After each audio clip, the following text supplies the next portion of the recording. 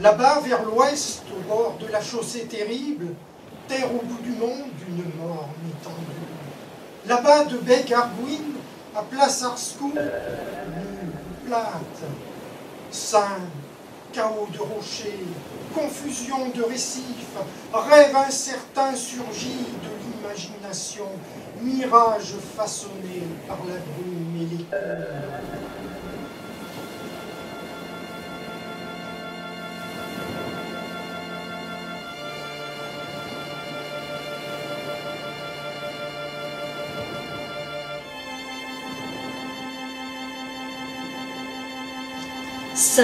la solitaire isolée, délaissée, qui n'a source ni rue, hors ses puits d'eau saumâtre, qui n'a champ ni prairie, hors celle des fucus. Là-bas, chevaux ni bœufs n'entraînent la charrue, mais serrant le manchon, la rue, le paysanne, pousse en avant le soc dans l'arène infertile.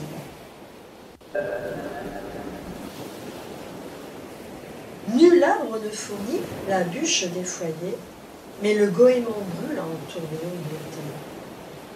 L'église, terrassée par le vent perpétuel, semble sépulcre bas, abritant les vivants. Les écueils nus saillants sont dits le naturel que battent incessamment la diluvienne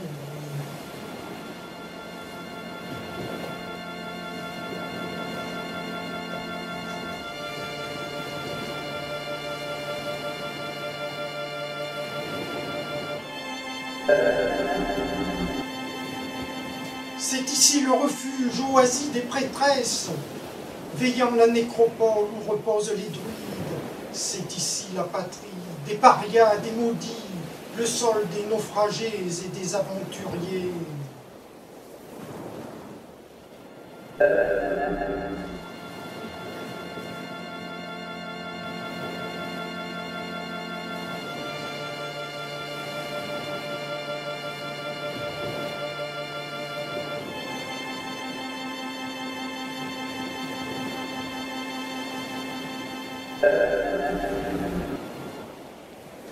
Les hommes sont en mer, livrés à la tempête.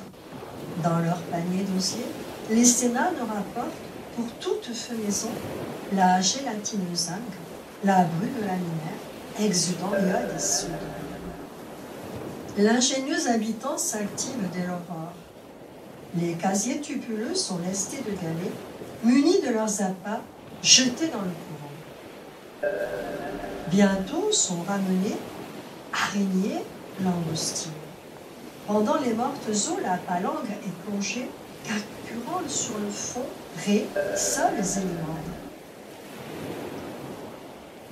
Placé dans l'andillou, le combre se dessèche. Dès l'aube à la criée, le marieur achète lieux, dorades et thons, mulets et maquereaux. Le courageux pêcheur accomplit sa raison mais parfois il devient le dépeceur d'épaves lorsqu'un riche navire en sa misère échoue.